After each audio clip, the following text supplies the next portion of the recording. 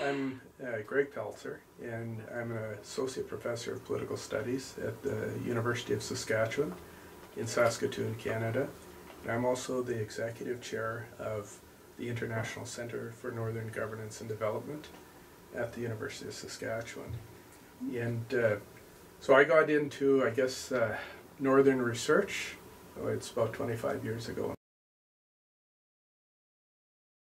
I think uh, where I can, I hope to make a, a contribution as, as part of the team is bringing in the, the experiences from Canada. So bringing in a Canadian uh, perspective on the issues, uh, I think is uh, probably my primary uh, contribution. And the other thing is a political scientist. So you, we all, whether you're a carpenter, welder, or whatever, you have different tools in your tool bag, right? And so I'm bringing a toolkit of uh, political science uh, and looking through that lens with colleagues like Patrick Galanto, who's an historian, and he's going to bring that toolkit. And uh, yeah, so those are, I would say, those are the where I see myself uh, contributing to the program, bringing those skill sets. Okay.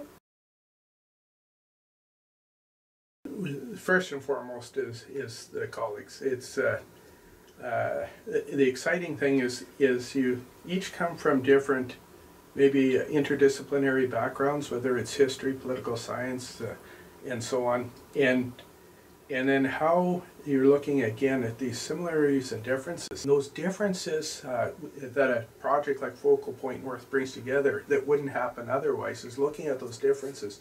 So you're understanding policy today. what is the historical uh, context for the institutions that have emerged? What are the frameworks uh, and issues economically in the uh, across countries that are are, are driving uh, both the challenges and the opportunities uh, mm-hmm. today for for northern areas. Um, so uh, for me, already at the beginning, you can already see that, and it's just we're generating so much discussion about how we can look at different research projects, but also how we can bring into the classroom these comparative dimensions. So uh, to be brutally honest, is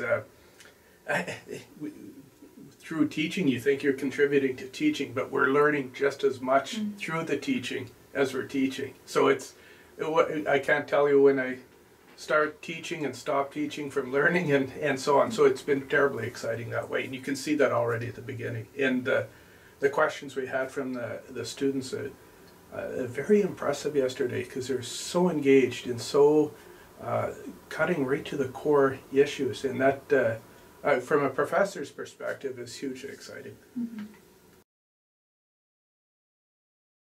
One is actually developing um, some concrete uh, research projects that'll mm-hmm. come out of this. Mm-hmm.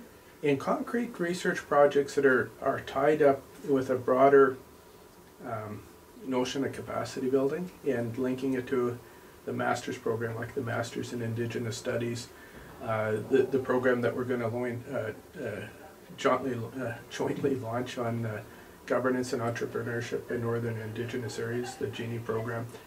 Uh, so those are the, this gives a real opportunity to do that. And then to build with our center, with the uh, Sami Center here and the Sami Center in Umeå, to actually forge those relationships.